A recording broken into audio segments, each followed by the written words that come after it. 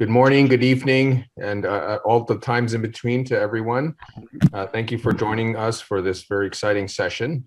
Uh, this session is uh, uh, part of ACC uh, 21 Industry Expert Theater, the US-China Expert Consensus Sharing High Efficiency PVI using RF energy in patients with paroxysmal AF. And I want to start off by introducing the agenda and and, and uh, tell you that for the first session, we were going to have some uh, uh, keynote uh, comments from the chairs of our um, program and, and our expert panel. as you can see in this first slide, we will be hearing from Dr. Calkins and Dr. Natale from the United States. and Dr. Yao, I believe, will be introducing his colleagues from China. And then as you see after that, we will have 10 minutes uh, participation with hosting from uh, Biosense Webster. Uh, we are going to then uh, have two specific talks, one from Dr. Long, uh, uh, discussing the background and key messages for this high efficiency PAF workflow consensus statement. And then I will be finishing with uh, uh, some some high level discussion about some of the key differences between China and U.S. and some other I think important observations that we have made. All right, so shall we uh, move on to the first discussion, the first panel session.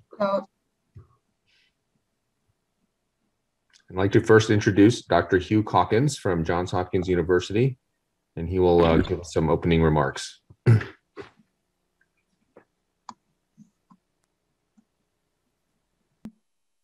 Hello, I am Hugh Calkins, Director of Electrophysiology at Johns Hopkins Hospital in Baltimore, Maryland.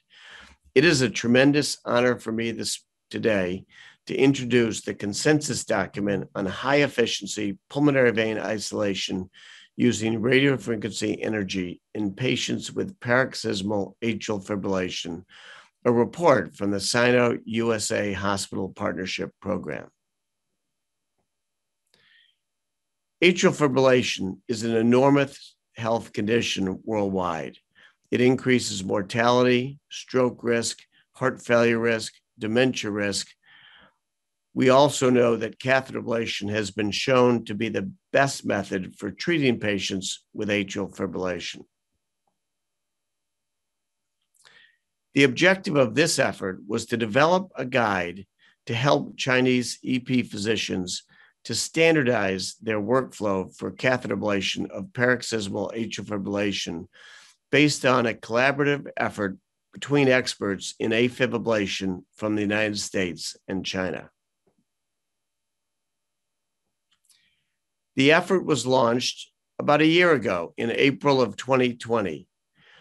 There were five US experts shown here and 19 Chinese experts and the effort was completed in April 2021. We started with international conference calls. They would be very early in the morning in Baltimore and, I, and late in the day in China. We reviewed the literature extensively. Importantly, the Delphi survey methodology was employed, which was very unique and very effective.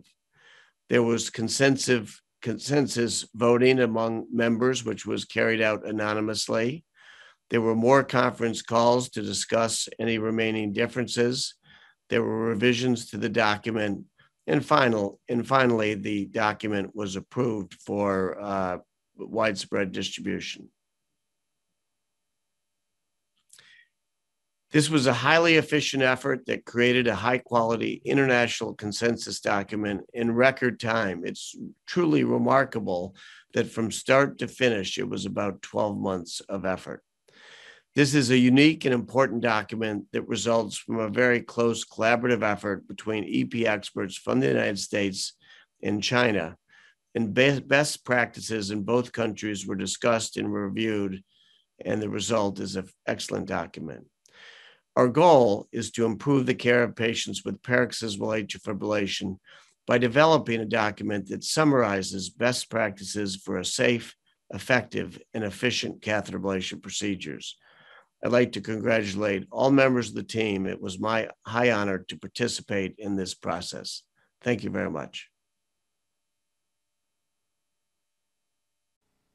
All right. Thank you to uh, Dr. Calkins for uh, that uh, high-level introduction. I'd like to now introduce Dr. Andrea Natale from Texas Cardiac Arrhythmia Institute in the United States to uh, present some remarks.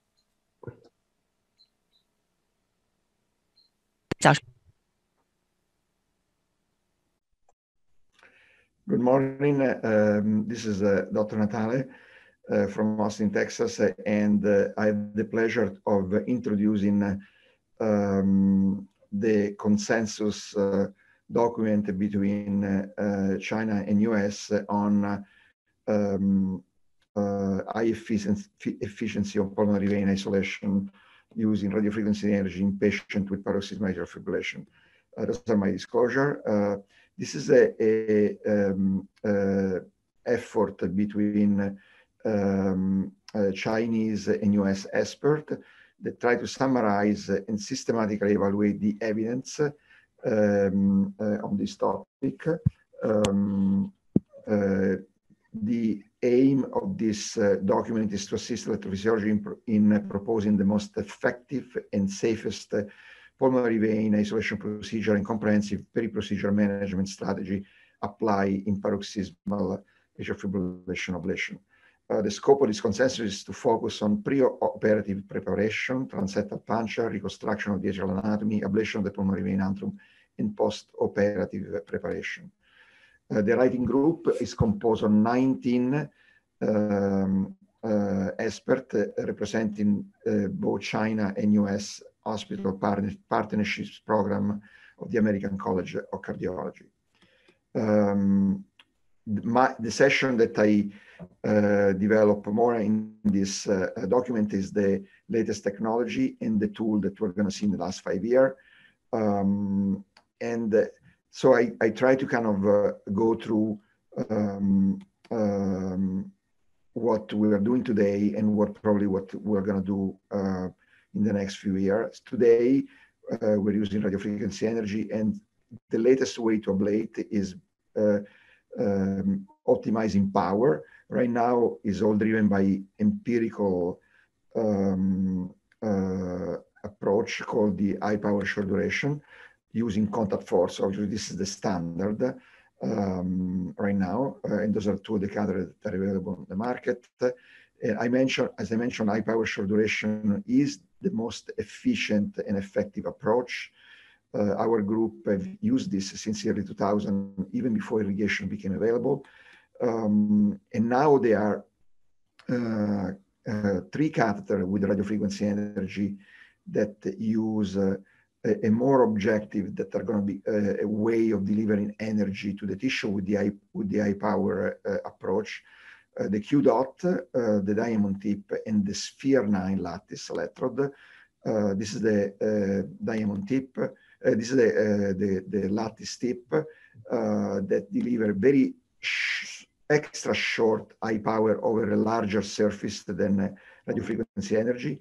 Uh, this is the QDOT uh, that has two mode, one with 90 watts for four seconds and another one where the energy based on tissue temperature is delivered up to 50 watts throughout uh, uh, the ablation. So the, the catheter adjusts uh, the irrigation to maximize power delivery in, um, throughout the ablation procedure. and um, the future, however, is going to be pulse field ablation. Here you see three catheters that are already in clinical uh, use. Um, uh, the first two A and B are actually uh, already in clinical uh, study uh, with the FDA in US and Europe.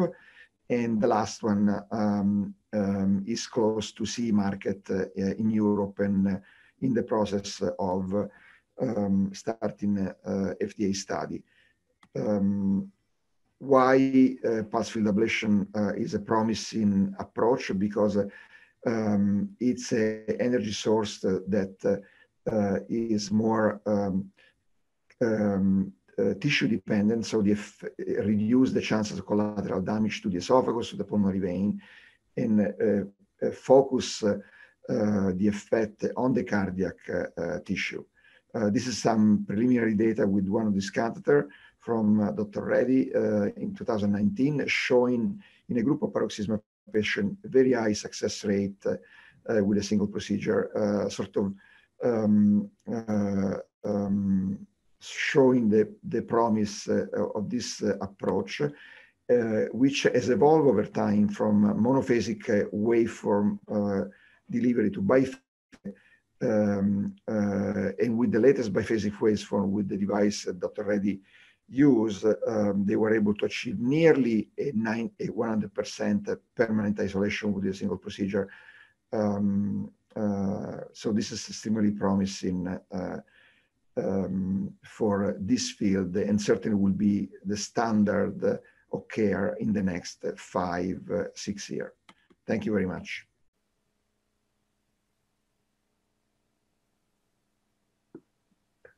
Okay, thank you very much, Dr. Natale.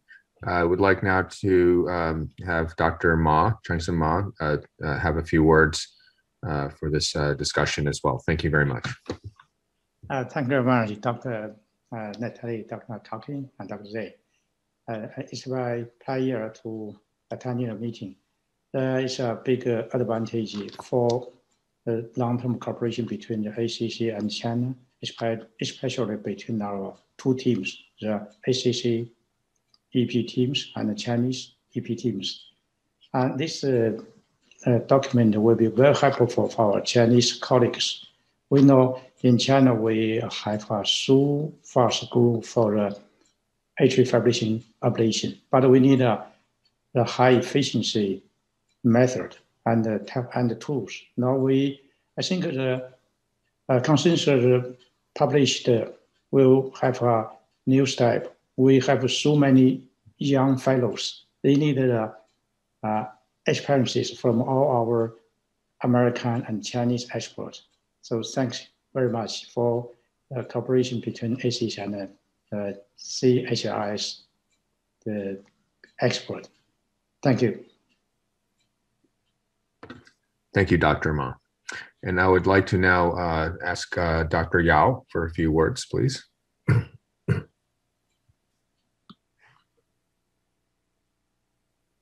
Uh,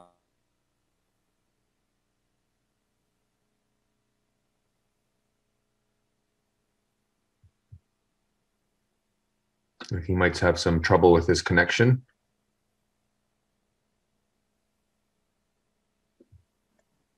perhaps you can get back to him and uh, if maybe Dr. Wang wants to wants to uh, uh, say a few words first.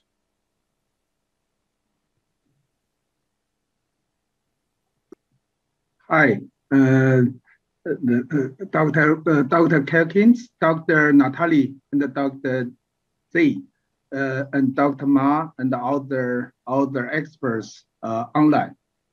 it's my honor to participate participate in the work of uh, consensus of uh, uh, of uh, uh, arch. Uh, thanks all the work uh, from uh, from the uh, from all the experts in the United States and China. thank you very much. Thank you, Dr. Wang. Um, uh, is uh, Dr. Yao uh, able to speak yet at this point?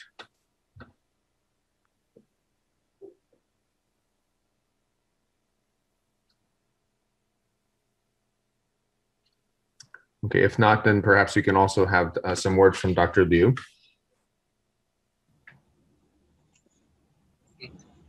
Good evening and good morning, everyone. It's my pleasure to involved in the discussion of the consensus with our American and Chinese colleagues focused on the high efficiency PVI used radio frequency energies. I believe these categorized step-by-step discussions will help the China EP communities understand the right way how to reach a consensus we know the opinion and the experience sharing uh, is important, but the the right way how to change the different the opinion also is important. this is will help the China's colleague community a lot. Uh, I will special thanks to the Carol King, Natale, and Posey for their contributions for this uh, writing the process. Also thank all the right members of this group. Have a good day. Thank you very much, Dr. Liu. Uh, maybe one more try to see if Dr. Yao can is um, connected to, to speak.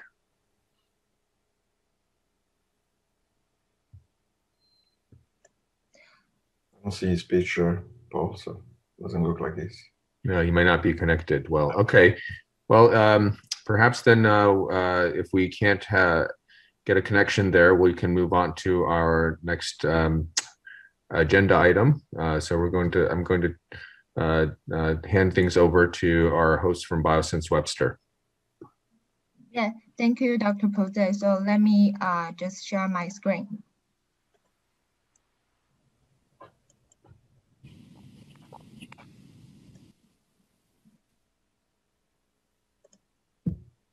Uh, because we have the interpreter, so later I will change to Chinese to uh, to introduce all the faculties join this program.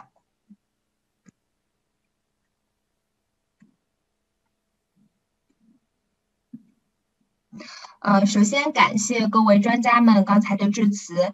然后呢，这次合作呢，其实呃，我们此次专题会的主题呢，也是邀请了我们中美顶尖的电生理专家们去分享正在筹备的首个聚焦于阵发房颤手术流程高效性的中美专家共识。那这个也是中美顶尖电生理专家首次尝试此类的合作。所以今天呢，我们非常的荣幸去呃介绍一下所有参与到此次。呃，项目的中美专家们，然后也请等会儿我会依次介绍到的中美专家们，如果在线的话，请保持摄像头打开。然后我们在介绍环节之后，我们也会进行一个云合影。嗯，那首先呢是呃我们共识项目的这个主席们，那是呃 Doctor 呃 Hugh Hawkins 是来自于呃 John Hopkins 呃 Hopkins Hospital 的。啊，然后是马长生主任，来自于北京安贞医院；Dr. Andrew Natali，来自于 Texas Cardiac Arrhythmia Institute；呃，刘少文主任，来自于上海十一。嗯，下面呢是我们的共识项目的 Coordinator，啊，那分别是来自于啊北京安贞医院的龙德勇教授和来自于 Birmingham Women Hospital 的。Doctor Posey。嗯，那接下来共识的专家们呢，我们将会按照呃拼音首字母的这个顺序去依次的介绍。那首先呢是来自于呃浙江大学呃附属邵逸夫医院的呃蒋晨阳教授。嗯，然后是来自于 Texas Cardiac Arrhythmia Institute 的呃 David Boker。然后来自于 John Hopkins Hospital 的 David s p r a g 呃，接下来是来自于郑州大学第一附属医院的陶海龙教授，嗯，来自于天津大学呃天津医科大学总医院的蔡恒教授，来自于四川大学华西医院的傅华教授，来自于中国医科大学附属第一医院的徐健教授。来自于河北医科大学附属第二医院的谢瑞琴教授，来自于上海市人民医院的陈松文教授，来自于复旦大学附属中山医院的朱文清教授，来自于上海市胸科医院的姜伟峰教授，来自于北京朝阳医院的刘新鹏教授，来自于上海市胸科医院的刘旭教授。来自于北京阜外医院的姚燕教授，来自于广东省人民医院的薛玉梅教授，来自大连医科大学附属第一医院的夏云龙教授，以及来自北部总呃战区总医院的王祖路教授。那非常感谢各位教授的莅临。那下面呢，也希望所有的中美专家们可以打开摄像头，我们一起在 Zoom 上面进行一个云合影。嗯，各位可以把摄像头打开。啊，请我们的伙伴们帮我们做一下这个合影和截图。好的，各位老师准备，咱们三、二、一。好的，请各位老师准备。是不是还有第二页？就是有些专家可能，嗯。好的，那我们就先这样。那接下来呢，我就把主持的任务交给呃 Dr. Natalie。Uh, so, Dr. Natalie, we can move on to the uh, next session. Maria, uh, so it's my pleasure to introduce the next speaker. The first is Dr. Long, that is going to uh, talk about background and key messages from the high deficiency PAF workflow. Dr. Long, please. Uh, thank you. Thank you, Dr. Lally. Thank you for introducing me to enjoy this session. So because my slide in English, I will talk in Chinese. 我们主要是我主要我的主要任务呢是和大家啊分享一下，就是我们这个共识是怎么产生的。那么实际上目前有防范的共识非常多的，指南也非常多的，但是所有的指南他们都是基于一些高等级证据的这些结果去产生的指南。这是当然这是一个指南的他们的优势，他们的呃必然的要求所在。那么但于对于肺静脉隔离来说呢，它可能很多一些内容。它都没有一些高等级这些证据，但是实际工作当中，我们又要经常每天开展这些工作，那么这样就有一种可能性，让我们有一个机会，就是来把这些我们工作当中一些不确定的东西，还有如何提高我们的医疗质量这些东西，包含到我们这些共识当中。这是很多共识产生的一个基础，就是指南它没有高等级的让它产生一个指南，但是它可以成为一个共识，啊，这就是我们这个呃肺静脉隔离这个共识产生的一个基础。那么在整个的过程当中呢，我们首先做了一个计划，计划就是第一步就是要成立一个呃这个机构啊，成立了一个委员会，有三四位主席，然后经过他们邀请了各位专家来参加这个委员会。那么有四位主席，还有我和 Paul Z，我们做一个 coordinator，做一个啊联络的这样一个作用。那么其他各位专家呢，刚才呃周周新做了介绍，我这里不再做介介绍了。然后我们也有两位方法学专家，主要是汪赤，还有杜新教授，他们两位会在文献检索呀，整个的这个如何检索文献上做一些调查表格上，给我们进行设计和一些一些工作。嗯，我们整个的这个计划当中，除了这之外呢，人员构成之外，我们也对整个的时间的安排或具体的用的方法呢，在早期的会议当中，我们还和大家做了一个分享。就首先我们要确定我们我们。到的共识要是基于哪一方面？好，首先大家确定了我们要做防那个肺静脉隔离，做这个作为我们公司的一个 topic。那么这个 topic 它到底要覆盖哪些内容呢？要 define 它的 scope，然后有做了这些 scope，由此和做了一个第一轮的，根据这些 scope 一些关键词，做了一个第一轮的文献检索，然后再确定进一步确定了这个 scope，然后对每一个文献进行检索之后呢，又把摘要和一些有关内容分发到各位。委员会的委员，让他们大家看，再提针对这些关键的 scope 这些话题来提出一些问题，然后我们再确定一些啊哪些需要我们形成一些共识，哪些是一些重要的问题。总之，这个每个步骤既是我们的时间安排，实际上也是我们整个共识产生的一个呃一一个方法学的一个一一个一个一个一个流程。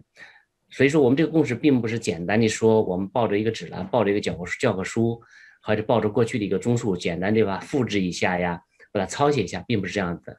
我们是根据我们这些专家委员会的经验，觉得这个话题里边应当涉及到什么内容，有些什么关键词，我们在围绕这些关键词进行文献检索，把目前现状呈现给大家，让大家提出问题，再提出自己的观点。针对一些有争议的问题呢，我们再进行电话会议讨论，确定一些话题，再确定这些指南所应当推荐内容，进行相关的投票。是这我们的整个计划这个过程，那么整个 topic 确定之后，我们要对这个 topic 下边的每一个内容进行这个呃确定，其实对一个肺肺静脉隔离来说，实际上就是它一个手术过程的一个流程，从手术开始、术前准备、手术当中要牵扯的因素，我想大家都是知道的。当然，在这个最初的这个话题的 scope 确定当中呢，根据国际上的一些习惯和惯例呢，并不是所有的 member 都会参加的。那么一些核心专家会做一个小范围探讨讨论，确定了这些内容之后，再呈现给大家进行一个讨论和投票来决定。这是第一步的 planning。那第二步就是这个整个的共识的一个 developing 过程了。这个 developing 过程呢，那个我们的第一步就是说，我们根据之前确定的这些 scope，我们要对它进行一个确定，就是呃确定一下。比如说我们在肺静脉隔离前庭隔离的时候，我们说这个啊消融点的距离到底应当是多少？那个呃就是这个话题是不是应当成为我们这个话题我们整个的。整个的 topic 一个 scope，我们要进行一个投票。那么你同意，非常不同意，就是完全不同意是一分。那你完全同意是九分。那么我们根据每个专家打的分来确定这个话题是不是要需要进入我们这个指南所要叙述内容。好，然后当然呢，在第一轮确定了这些内容之后，就是进行第一轮文献检索。那文献检索的话，会。我们遵循一个原则，一个通用的原则，叫 PICO 的原则。PICO 就是 pop P 就是 population，第二就是 I 就是 intervention，C 就是 comparison，那 O 呢就是 result 就是 outcome。当然，这是一个基本的文献检索，我们要遵循这个。我们到底要聚焦什么样的人群呢？那就是房产人群，需要进行射频消融的人群。那 intervention 就是这个射频了。射频的用的一些干预的一些，比如说 high power 的呀，还是传统导管呐，还是压力导管呐，还有，然后这个研究是不是具有对是一个对照研究？那么它的结果是什么样子？这是一个 PICO 是一个基本的流程。当然，我们通常会进行两步两个步骤。我们通过这些方式初步检索文献之后，我们会根据这些文献再来检索这些文献他们所引引引用的这些文献，所以一起把所有的文献都都获得。这是第二步文献检索。那么第三步呢，就是。大家确定了基本的 topic，大家也对文献检索摘要有个初步的看。当然，我们大家都记得，当时我们都把这些都分发给大家，让大家去看这每个文献检索的这些摘要。我们对每个摘要每一个内容会进行一个汇总，发给大家，让大家针对这些再去提出一些问题。那么，比如说推荐的 high power setting 到底是四十瓦还是四十五瓦还是五瓦？那么对整个的这个功率设置有什么建议？比如高功率消融术是否要参考 AI 等等这些。那么，如果消高功率消融时是否要参考 AI？高功率消融时不需要参考 AI，以消融时间为主还是怎么怎么？我们这个要进行一个投票。那么投票决定哪些结果，是否它进入一个最终的话题。这个对于这一过程呢，我们在前述基础上要进行一个讨论或投票。那么这第四步、第五步，我们要根据我们以前检检索的问题，比如说刚才说到这个 AI 问题了，大家有争论，那么我们就专应聚焦于这个 AI，又把这些。AI 专门的把有关发表的一些文献、有价值的文献，我们都引入过来，然后再把这些文献总结的结果，看我们用一小段文字叙述出来，又呈现给大家，一般进行后后续的第六轮的讨论和这个呃德尔法这个表格，呃，这个德德尔法这个就是打分那么德尔法打分是九分制，九分制的话的一分到九分啊，一分就是完全不赞同，九分是完全赞同。那么，那么就是他这个德尔法的他这个结果是怎么评价的呢？你看，那么如果是我们这个德尔法平均均分达到七分以上，说明我们是个 consensus。如果小于六分的话，是一般通常是没有 consensus。这些没有 consensus 的话，第二 consensus 我们需要如果有争议，大家进行讨论有争议，我们需要进行下边的讨论。比如说，我们对术前超声是否应当做检查？你看当时所有的专家啊。几乎所有的专家都是 totally agree 这个九分制的，只有少数专家呢是呃不赞成需需要的。这个比如说他的专家他都没有，呃他不说不一定非得这样做。当然，这个我们的均分是多少呢？均分是七分，也就是讲我们对这个是否做术前 T T 一检查，我们所有的专家的一致意见是要做，因为它七分检查。但是有两个逆均值比较大的。我们认为，就是如果你这个做这个 consensus 均分，如果你的均值要超过两分以上的话，我们认为是它是脱离了平均值的一个脱离值，通常我们会把这脱离值的意见要要剔除掉的。所以不管怎么说，这个 TE 我们通过这个 dealer 的这个 survey delta survey 的话，它是进入到 consensus 的。所以这就是我们具体的方法。那么针对我们这个共识呢，比如说我们整个的流程都是一个具体的流程来说，我们确定了这个话题就是 PVI PAF 的 PV isolation 这个话题，然后我们又对它进行了 scope survey 来确定它的每一个 topic。根据 topic，我们确定了三四个关键词，然后进行了第一轮的文献检索。最后我们获得了四百多篇的这种文献检索，其中是一百将近两百篇的，我们进行了一个一个文献的摘要。然后根据这个呢，我把这个分发给大家之后，又进行了一轮讨论和一个 conference 第一类的次的 conference call，然后在最后确定了一些 topic questions。这个最后我们 topic questions 有有有一些有争议的，那有些没有争议的。对七三个有一些关键的一些 questions，大家就投票来决定是否要进入我们这个呃文献的一个书写过程。然后针对此又进行了第二轮的这个文献检索。好，总之文献检索之后呢，又根据这个啊一百九十篇 paper，对有一些有争议的话题或者对一些呃确定的关键话题进行了第一轮的 d e r f y 第一份 d e r f y 的话，那。确定了，我们说金字塔七分的进入我们这个话题，consensus 进入这话题，或者 recommendations 进入我们的话题。然后对于一些没有进入的，那进行第二轮第二费。然后最后确定了有三十八个 recommendations。好，确定了话题，确定了话那个我们的 topic，确定了我们 scope of survey，又确定了我们的关键词，也确定了我们应当做的这个 statements 和这 recommendations。那么剩下的最后一道关呢，就是这个架构都完全出来了。我们最后一步关就是写作了，那么这是部分写作的一个啊一个这一个精要，大家可以看出来。比如说房间格穿刺这一章，那是我是我自己负责写的。那么我们会根据最后我们确定了它这个过程的几个话题是什么呢？一个是单穿然后双穿间隔。好，那么我们穿间隔是到底是用哪种影像模式呢？是完全 X 线模式呢，还是用这个超声下指导的无射线模式呢？还有一些特殊情况的房间隔穿刺，我们怎么做呢？比如说房间隔特别厚的人，比如说以前做过外科手术的房间隔缺损修补的，还放过风头伞的，还有石呃石壁瘤那个房间隔膜部通出瘤的一些，还有其他的，比如说静脉畸形的啊这些情况，我们该怎么做？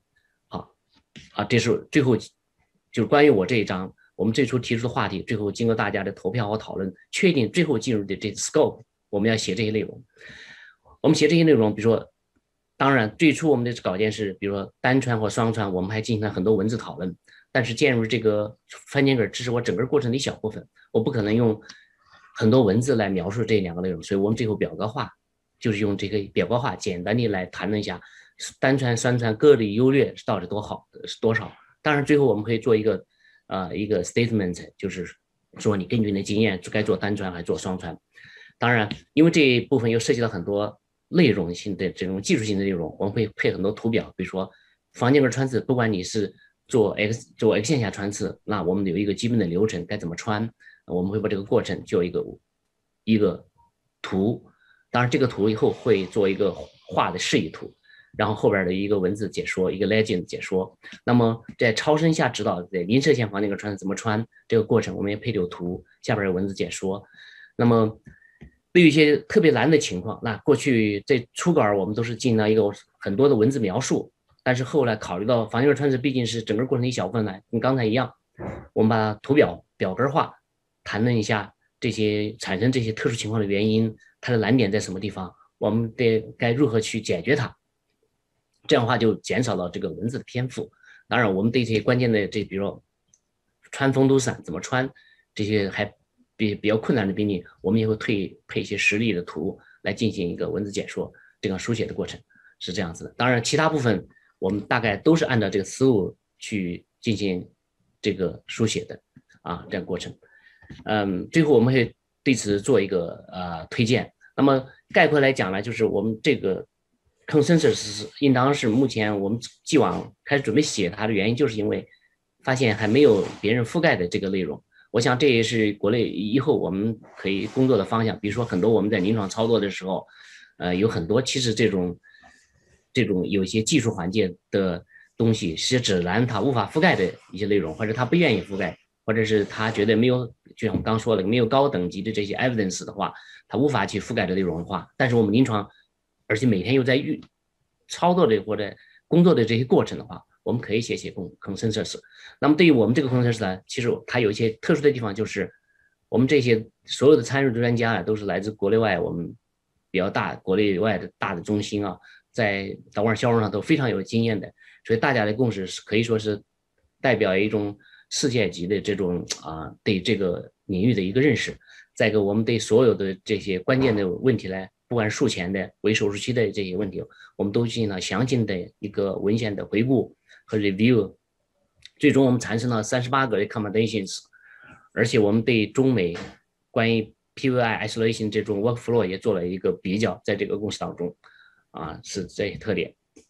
好，我的汇报到此结束，谢谢大家。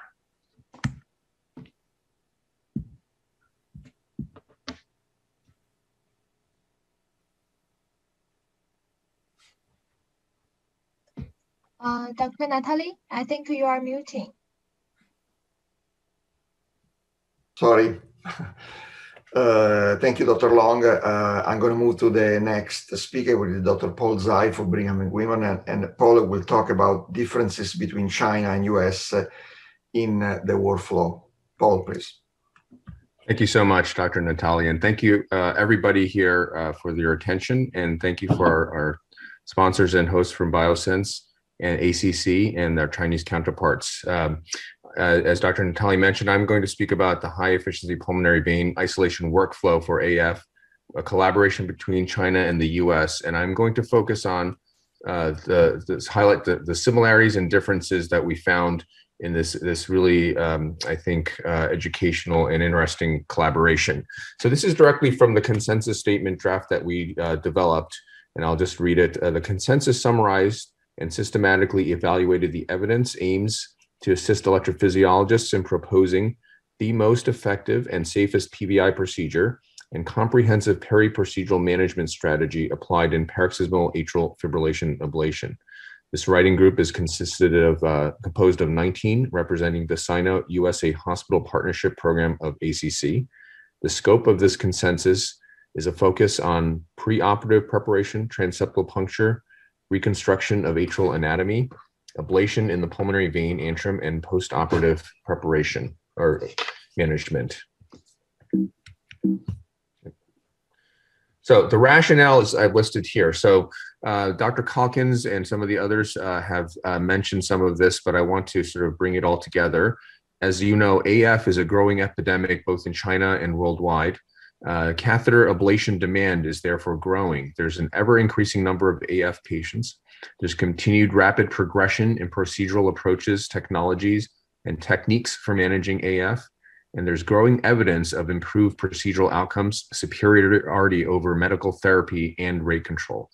So there are currently not enough well-trained EPs in China, as everybody uh, in our Chinese friends uh, know. And as a result, skilled EPs, especially in China, are uh, often overworked. And so systematic efforts to train more skilled EPs are underway and we there's a need to provide evidence-based expert-driven guidance for best practices for AF ablation and the hope is to share the experience and the expertise between US and Chinese EP uh, key opinion leaders. So uh, in context, as, as all everyone uh, likely knows, AF ablation uh, is, a, is a high volume procedure. So for instance, uh, in this paper published uh, by Dr. Mansour in JACC EP, now quite old now, four years ago, uh, there was an estimate of about 75,000 AF ablations per year just in the US alone that year. Uh, and there are overall, at least uh, we have data available from the US, uh, uh, estimated by 2030, there will be 12 million patients with AF.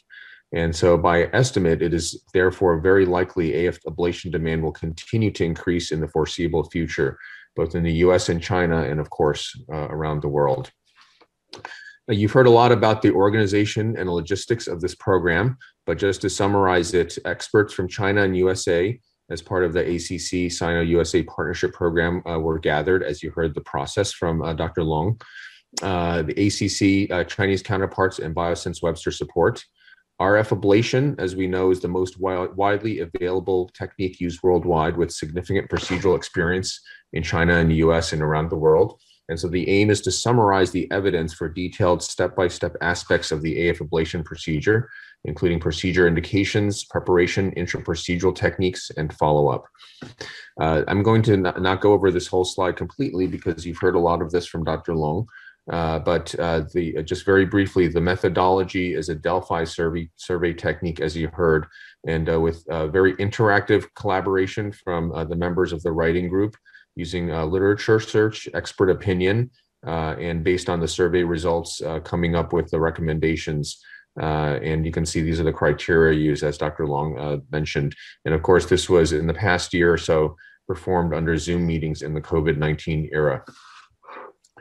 So then I want to highlight some some of the key uh, findings of the document. You heard some of them already, but I want to bring into how we came about this and what some of the things that we learned. In terms of the ablation approach, uh, the idea was to incorporate most up the most up-to-date ablation strategies, and that includes uh, key uh, uh technology technology advances that uh, you all know of in the last several years, including high-power, short-duration approach of, to ablation, contact force strategies, uh, ablation index measures, measures of interlesion distance, and appropriate lesion sets to to utilize overall, and ablation beyond pulmonary vein isolation.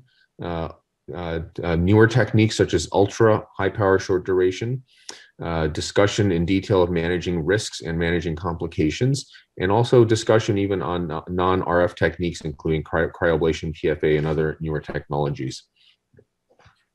Uh, an important thing that I want to highlight as well is uh, there are many technical aspects to the ablation procedure itself, but just as important for best patient outcomes are uh, a discussion of the best practices for comprehensive peri-procedural management. And these are things that maybe we don't spend as much attention on, but are very important.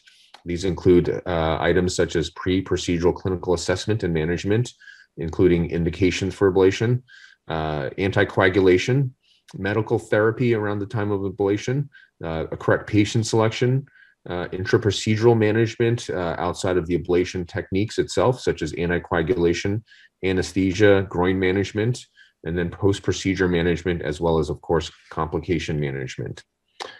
Now, uh, before getting to some of the differences, I want to highlight that, so that, of course, there are there are many. The vast majority of um, uh, discussion, uh, I think, highlighted uh, many of the similarities between the US and China as expected. Uh, so, on a high level, uh, I would say universally, we all practice, of course, guideline based indications for recommending ablation. Uh, we all understand that pulmonary vein isolation still, uh, to this day, remains the cornerstone of the ablation strategy, particularly for PAF patients. And we are all moving towards a high power, short duration, uh, index based ablation approach and uh, the approach to peri and intraprocedural anticoagulation management appears to be similar. Now, we found some very interesting differences that I think uh, we can uh, certainly uh, uh, open for discussion uh, for the future. I think these are important questions that and scientific questions, I would say, that we've um, we've I think uncovered. So one important difference that we discovered is that anesthesia is uh, is uh, quite different between the United States and China. In the United States, almost universally, uh, general anesthesia with uh, endotracheal tube intubation is utilized for full general anesthesia, while in China, most commonly, uh, uh, deep sedation is utilized. Similarly, um, luminal esophageal temperature monitoring is common in the US, almost standard of care, but not so much in China. And uh, as a result of that, for instance, uh, if posterior wall ablation is con- uh, or ablation along the posterior wall, including uh, during the pulmonary vein isolation, uh, uh, ablation is often guided or at least limited or um, overseen, so to speak, by luminal esophageal temperature versus primarily ablation index or even patient symptoms in China. Uh, ICE or intracardiac echocardiography is utilized extensively in the United States, while occasionally in China for the most part, although that appears to be uh, a changing, uh, changing phenomenon. Uh, ultrasound guided vascular access is uh, common uh, and almost universal in the United States, while traditional, meaning tactile and fluoroscopic guided approaches are utilized in China primarily. Uh, another interesting difference we saw was that in the United States, there's a, a strong move uh, these days, perhaps uh, accelerated by the COVID-19 pandemic in a move towards same-day discharge, while in China, patients tend to stay several days uh, after an ablation. Um, uh, what's interesting as well is that post-procedure follow-up uh, scheduling varies, but this is not just between the United States and China, but what we found is uh, within each country as well, there's quite a bit of variation and, and la lack of standardization in post-procedure follow-up. Um, and another, perhaps I should say, expected uh, difference that we saw is that the risk factors for AF appear to be different. There is, uh, as, as expected, uh, a much higher incidence, or at least observationally, as well as literature supported incidence of both obesity and associated uh, sleep disordered breathing uh, United States, but not so prevalent in China. So what I'd like to summarize with these differences uh, in how we perhaps I, would uh, humbly suggest we think about this is that I would um, maybe say that in the United States there's more utilization of resources, whether it's equipment or anesthesia services, temperature monitoring, ultrasound, that sort of thing. And uh, there is uh, more patient risk factors for AF that are at play in the US, such as obesity and sleep apnea. And the interesting question that raises is, are these differences in uh, the approach to ablation important for patient outcomes? And this is uh, something that I think would be very interesting to, to uh, investigate. And with these differences in the procedural approach, there uh, does not, however, seem to be a difference in outcomes that we were able to see. So I would suggest as an initial hypothesis that these are more practice style differences rather than substantive differences, differences that may uh, impact um, uh, procedural outcomes. So just to, to begin to summarize what we are talking about today, I hope to, uh, I, I, and I think all the other speakers hope to uh, uh, convey how important we think this document is in its intended use and impact. The recommendations are updated and aligned with other existing guideline documents. They, the highlights, uh, these highlight expert consensus from US and China experts, as you have seen, and uh, should hopefully benefit uh, for all for uh, who practice AF ablation uh, around the world. And so I'd like to finish by congratulating the whole team in this wonderful collaborative effort and fostering future collaborations and continued friendships. Thank you very much. Thank you, Paul. Um, I think we, we are at the end. Uh, I, I would like to again uh, express my gratitude to obviously to Biosense Webster for sponsoring this event, but also to all the faculty, uh, the expert in China and US that uh, uh, collaborated in uh, producing this document, which I agree with Paul and Dr. Long. Everybody's going to be very valuable to practitioner, not just in China, but also uh, around the world. So congratulations to all. I'm sure uh, Hugh Calkins, cannot be with us, uh, join me in this. Uh, uh, and uh, um, Sabrina, is there any other issue we need to address? Yeah, thank you, Dr. Natale. 嗯，呃，感感谢各位专家的分享以及娜塔莉教授的主持。那我们今天的会议呢也接近尾声。呃，中国的专家们，我看还有很多的在线。同时，刚才没有进行致辞的姚燕主任，呃，想问一下大家，如果有任何想要分享的，现在可以继续分享。呃，姚燕主任，您还要那个再致辞吗？您现在的信号可以吗？嗯。啊，以及其他的专家可以看一下，还有没有想要其他分享的？